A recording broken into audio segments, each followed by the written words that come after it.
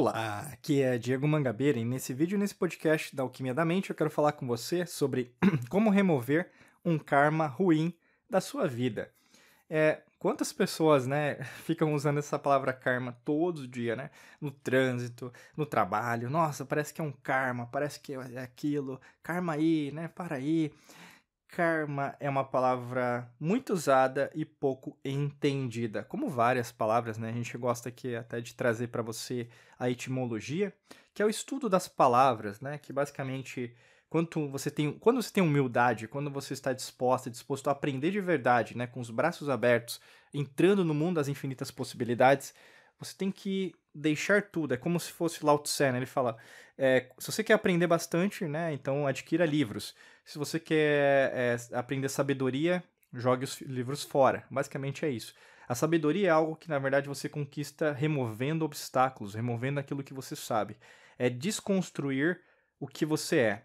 Né? E o karma é isso. Primeira coisa de tudo, o que é karma? Né? O karma, né, a palavra, vamos dizer assim. A palavra karma vem do sânscrito, karman, né? E quer dizer ação. Basicamente isso. Karma não significa nada negativo, karma não significa algo ruim, karma não tem a ver com a lei de Murphy, né? Que é tudo que vai dar, vai dar, vai, vai acontecer do jeito que tem que dar, né? não tem nada a ver. Karma é ação. E inclusive a gente usa a palavra dharma também, né? Que seria ação e reação, que seria karma e dharma, né? Mas ainda não seria reação como a gente conhece, porque no sânscrito as palavras elas ganham uma conotação também de consciência espiritual, quântica, esotérica, eletromagnética. Então, a Dharma, no caso, nesse caso específico, né, até trazendo um pouquinho da representação do que ela representa, seria como se fosse a conclusão. Seria assim, eu vou te dar um exemplo de karma para você entender. Você tem que fazer um bolo. Esse é um karma. Né? Sabe fazer bolo? Não, Diego, eu não sei. Então compra aquelas receitas prontas que hoje vende na, no supermercado. Compra lá, segue as instruções você vai fazer um bolo, certo? Quando você fizer esse bolo, o que, que você vai ter? O Dharma. Acabou. Seu problema acabou. Você tinha que fazer o bolo, você fez. A mesma coisa na sua vida. Trouxe um exemplo prático, agora você tem que ver em relação, por exemplo, no trabalho. Você tem karma? Tem. Todo mundo tem karma no trabalho. Você tem karma no trânsito? Tem karma no trânsito. Você tem karma no relacionamento? Tem karma no relacionamento. Você tem karma no seu corpo? Você tem karma no seu corpo. Você tem karma em relação às suas emoções, seus sentimentos, pensamentos? Você tem karma em relação às suas emoções, pensamentos sentimentos.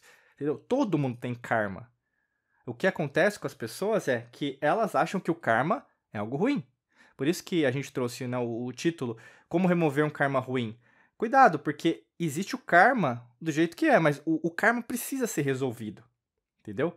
De uma perspectiva esotérica, espiritual, o karma ele vai acontecer com todo mundo. Quando você remover esse karma, vai aparecer outro karma. Né? Então eu quero é, desmistificar também para as pessoas que querem os atalhos, né? Eu sempre falo, o, o universo não tem atalhos, não existe atalhos no universo. Então, assim, você vai conseguir remover um karma ruim, um karma negativo, vamos dizer assim? Sim. Mas é, nunca via atalhos. Você só vai conseguir remover os karmas resolvendo seus karmas. Então, por exemplo, você tem um problema com uma pessoa, você vai ter que resolver esse problema com essa pessoa. Tá? Não, eu não estou querendo dizer, ah, você vai ter que conversar com essa pessoa, perdoar, aquela coisa. Não, você vai ter que ver, ó, pra, não, não, não dá mais para continuar e acabou. Esse é um karma, acabou.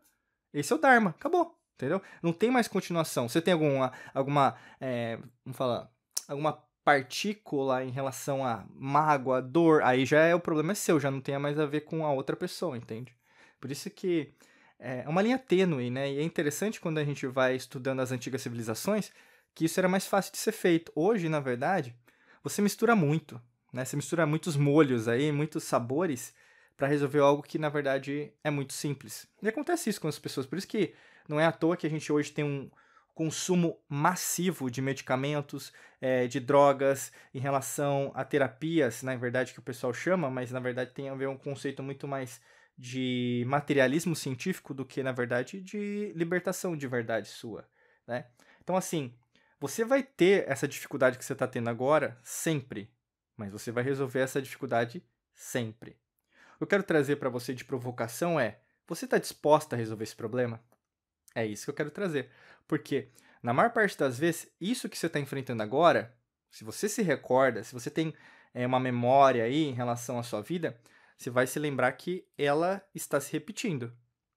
Esse problema, essa mágoa, esse, essa crença, essa dor, ela não é de agora. Então, seja, Você achava que tinha resolvido esse karma. Não, você não resolveu. E além de não ter resolvido, ele aumentou de tamanho, não é? Aumentou de tamanho. É normal, né? É, o universo ele segue o quê? A lei natural. Se segue a lei natural, se você não resolver o problema, o problema vai aumentar, é normal. Por isso que quando a gente vê, por exemplo, uma avalanche, uma avalanche não começa com algo grande, começa apenas com uma partícula, um floco de neve.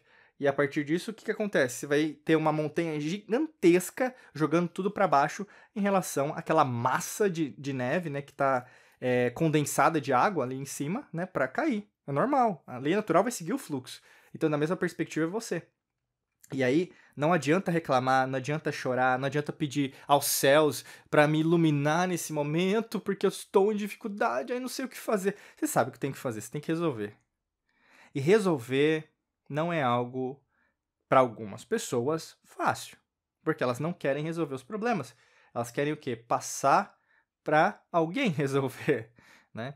E pode ser um profissional, você pode até contratar uma terapeuta, um terapeuta, um psicólogo, um médico para tratar você, mas você sabe que no fundo, no fundo, aquela pessoa, ela não é você, né? Ela não tem a mesma dificuldade. Você pode até explicar tudo o que está se passando. Você pode, meu amigo, minha amiga. Aqui não se trata, por exemplo, de ownership, que é responsabilidade. Você pode até delegar essa responsabilidade para alguém. Mas a roupa é tua, a cor é sua, o sabor é seu, o cheiro é seu, sabe? existe um DNA ali, sabe? E esse significado espiritual das coisas é você.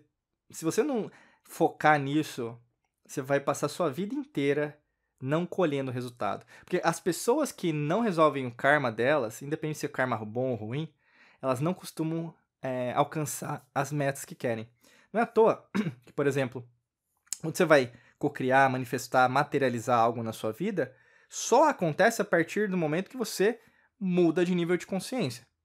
Muda o quê? De perspectiva em relação ao seu mundo. Né? Então vamos pensar, para você ganhar mais dinheiro, você vai ter que ganhar mais dinheiro. Você vai ter que resolver o karma o quê? Do dinheiro. Né? Então, assim, você é uma pessoa que gosta de dinheiro, né? Então, ou mesmo, você está disposta a ganhar mais dinheiro porque você vai pagar mais imposto. Você está disposta, por exemplo, a ouvir dos seus parentes, amigos, amigas que vão pedir emprestado para você? né? E aí não são amigos, na verdade, né? Estão querendo só seu dinheiro. Você vai ter que o quê? Deixar ir pessoas que na verdade estão na sua vida agora. Você está disposta a isso? Né? Então, assim, o karma ele traz consequências e consequências que são materiais. Eh, você consegue ver, notar, pegar, entendeu? Não é apenas espiritual. Por isso que é, é um erro aqui no Ocidente, né? Eu falo isso muito da perspectiva é, do Oriente, né? Porque eu viajo bastante para lá. Imagina que Aqui no Ocidente, a gente tem a perspectiva que o karma é algo distante da gente. A gente tem essa noção, entendeu? E quando a gente vai para lá, é tão perto. O karma, karma é algo nosso. Karma, por exemplo, pô, eu, tô com a internet e não tá funcionando. Isso aqui é meu karma hoje. Mas peraí, tinha uma coisa que eu precisava fazer sem internet hoje, que na verdade precisa resolver. Karma resolvido. Entendeu? Às vezes é isso que precisa, sabe? Essa parada, às vezes até mesmo a doença, a enfermidade acontece por causa disso. Porque você, o seu corpo, né, já estava dando sinais, você não estava querendo ver, ouvir, sentir o que estava se passando, e na verdade, pô, você não ouviu? Agora quer saber? Eu vou deixar você doente. E aí, no caso, quando você está doente, está enfermo, você vai precisar o quê? Ficar em repouso, você vai ter uma limitação de movimentos corporais, você não vai conseguir fazer coisas as quais você fazia antes. Então, isso traz uma série de consequências diretas de ação entendeu? Isso mexe com você e você vai ficar brava, ficar chateado, triste, magoado, depressivo, é, ansiosa, ansioso porque não pode ir pro trabalho às vezes. Mas o grande lance de tudo é, você parou. Parou.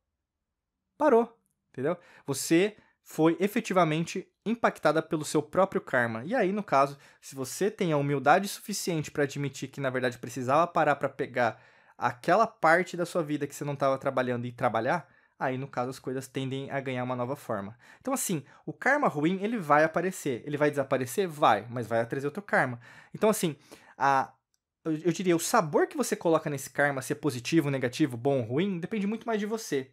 Para uma pessoa com nível de consciência alto, né, que é o objetivo que a gente sempre compartilha aqui dentro da Alquimia da Mente, não vai mais é, fazer sentido falar que um karma é positivo ou um karma é negativo. Um karma é bom ou um karma é ruim. Karma é muito bonito de ver tem que ser feito, tem que ser trabalhado, ele vai existir, ele vai ter que ser exercitado. E quanto mais você evolui, mais você vê, caramba, obrigado por essa, esse aprendizado. Obrigado por isso que aconteceu. E isso vai acontecer em outras escalas, em diversas escalas.